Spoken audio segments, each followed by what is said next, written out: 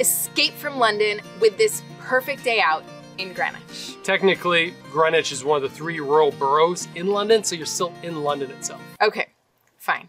Technically, correct. Very helpful. So when you hop on a Thames Clipper and you are heading on the river, you feel like you are escaping It is fair. for the day. So come on with us as we explore a Tea Clipper. We stand on an imaginary but important line, and we walk through a secret tunnel. Hi, I'm Erica. And I'm Jordan. And we're your guides abroad. We've lived all over the world and now feel most at home traveling. We're not just here to show you what we've done, though, we also show you how to do it.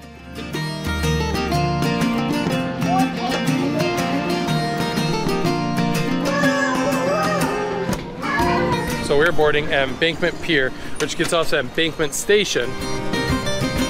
It's gonna be a good day in London. It is a very typical day in London right now. Very Yeah. cloudy skies. But the kids are excited. They're excited for the boat ride. Yeah. That's how we're starting our day. So, quick note we are taking the Thames Clipper, the Uber Clipper, this morning because we wanted to get an early start, but you can also take one of the more touristic sightseeing boats up the Thames, but they don't leave until a little bit later. So if you notice, there's a TFL symbol on these because these are operated by Transport for London. So you see that same type of round circle a line through it that you see for the bus and for the underground.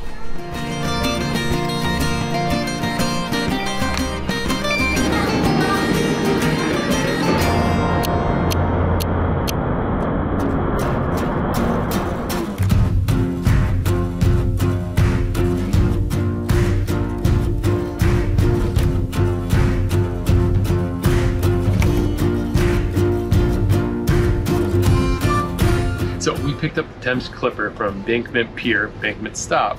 Embankment's good because it's a good central location in London. They have a lot of stops on the way to Greenwich, and there's not a lot of stops farther west to get to Greenwich. So Embankment Pier worked well for us. We'll link down below their timetable for the Thames Clipper. Uh, and don't miss out to get our perfect one day itinerary around central London. So we have this all mapped out for you. You guys will love it. It is what we would send our visitors on out to do when they came to visit us when we lived in London.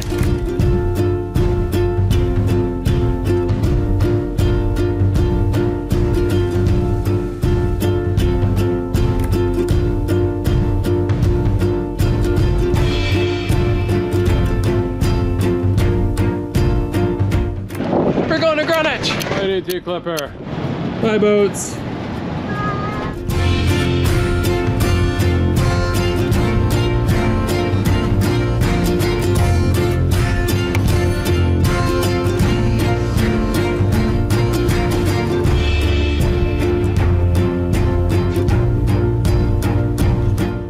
Left the bakery and pretty much everything opens up here about 10 a.m. So we got our tickets up to the Royal Observatory Greenwich. So we're walking through Greenwich Park right now, up the hill to the observatory. It's a 14 minute walk from the Cutty Sark where we get off at the pier up to the Greenwich Observatory. So Greenwich is a royal borough. It's one of the three royal boroughs of London. And this area is royal because King Charles II picked this area, because he already owned it, to set up the observatory with Christopher Wren's help. It's hard to tell, but the hill gets steep. Really does. But there it is. That's the time ball. I'm fine. Keep up. Come on, Jordan.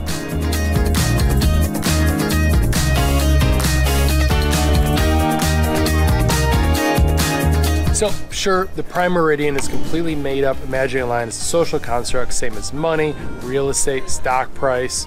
But it's cool because they had to use astronomers in the 1600s, had to use it to tell time. And this is how they charted the position of stars. And they still use it today for the same reason navigation and astronomy.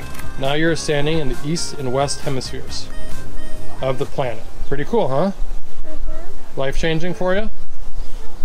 Yeah? I thought so. UK is so kid friendly.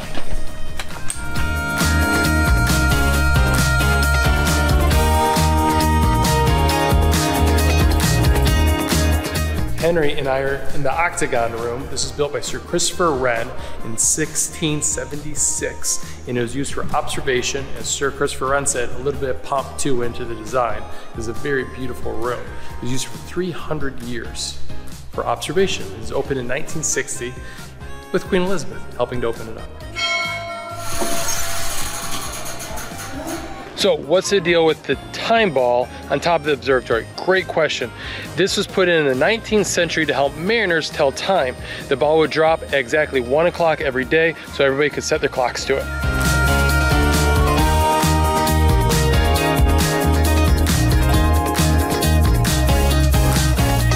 Even if you don't go into the Royal Observatory, coming up to the top of the park is a wonderful view of O2 Arena and Canary Wharf and just the whole area. It's beautiful up here.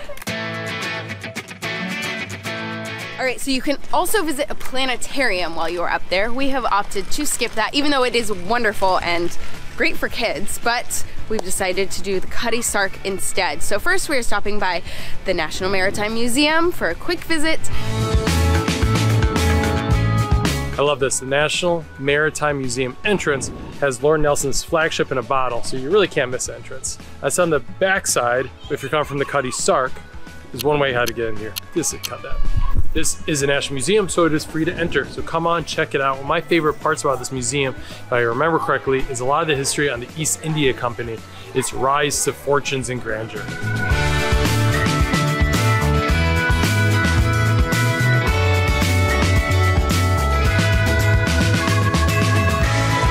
This museum is massive. You can spend all day here. I think it's the largest maritime museum in the world. And this whole area is full of royal museums for you to check out for the day. We're gonna go spend all day here, but pick your favorites. See what's right for you. Okay, it's 12.15 right now. We're gonna head back towards the Cutty Sark for lunch. We're gonna go to Greenwich Market with a quick stop at the Painted Hall just for a couple pictures.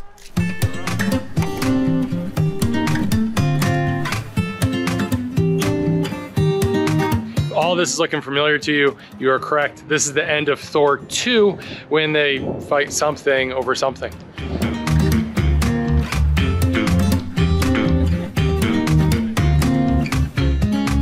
So Greenwich Market is just outside the Naval College, right in the heart of Greenwich. It is like five minutes from the pier, easy.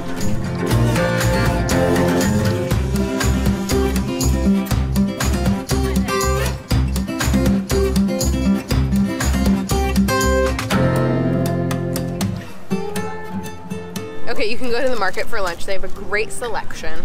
There's lots of different food stalls. You can find something for everyone. And while they do have tables there, it was a little bit crowded and we wanted to let our kids run. So we came across the street from the Cutty Sark to this park and now we're picnicking.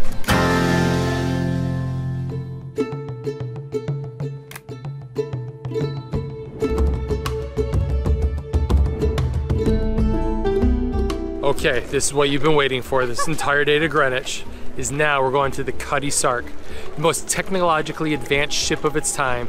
After years of going to India and shipping tea, they continue to work on the ships, making the Cutty Sark the fastest tea clipper ever built. That is true. Did you know that? I had no idea. It is the fastest tea clipper.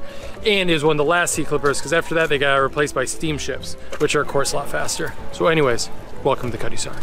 Real fast, we have this other great itinerary day around central London. Erica made a cheat sheet for it, or you can watch our video up above on it, but download our cheat sheet. It was our favorite way to get our friends out of our flat to explore London for the day. You see all the best sites. Check out that cheat sheet down below in the description. All right, let's head out to Greenwich.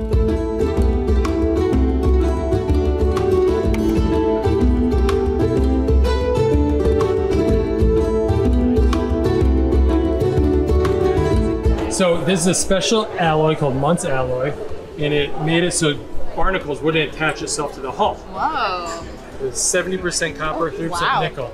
So it made it go extra fast. Whoa, look at that wood, buddy. This would go from Shanghai to London in three and a half months. It's a long time, right? At this. Yeah.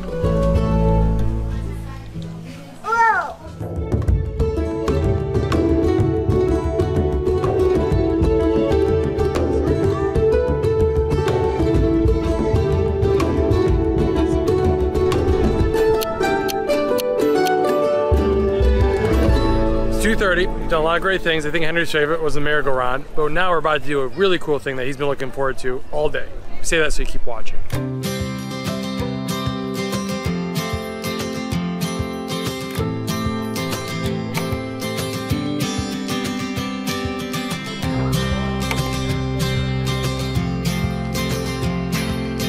to my knowledge, I'm gonna fact check this, this is the only footpath that goes underneath the Thames.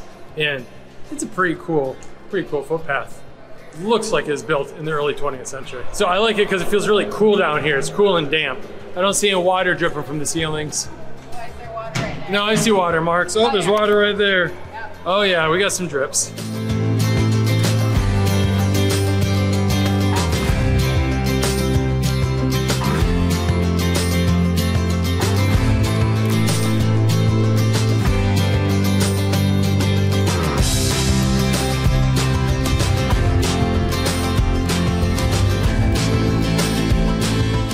Right, so once you are done in Greenwich, you have an option. You can hop on the DLR or you can walk across the pedestrian footpath tunnel under the Thames and you can hop on the DLR there. Or if you have kids and you want to do something a little extra, you can keep walking about 15 minutes to Mudchute Farms and feed the animals.